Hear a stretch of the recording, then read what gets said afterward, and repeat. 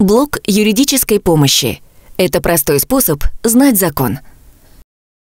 Если пенсию повысили менее чем на 279 рублей, нас спрашивают, а что делать пенсионерам, которым в этом месяце повысили пенсию менее чем на 279 рублей? По закону ли это? Ведь я читала, что всем пенсионерам в августе должны были поднять пенсии на 279 рублей. Или это неправда?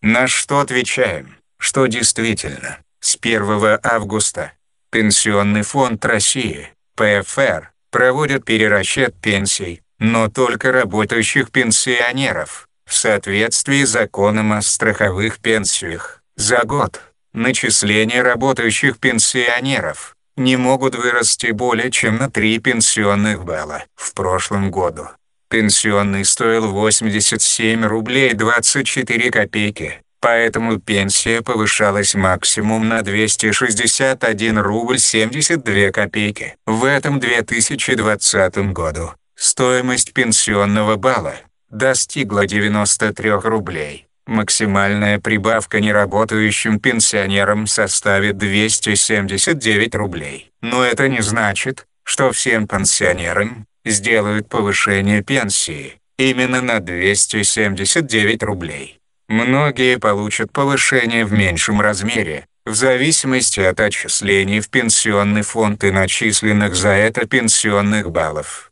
То есть, отвечая на ваш вопрос, вполне нормально если вы получите повышение размером менее 279 рублей. Если после просмотра выпуска у вас возникли дополнительные вопросы, просим их задавать в комментариях, на что мы ответим в отдельном выпуске.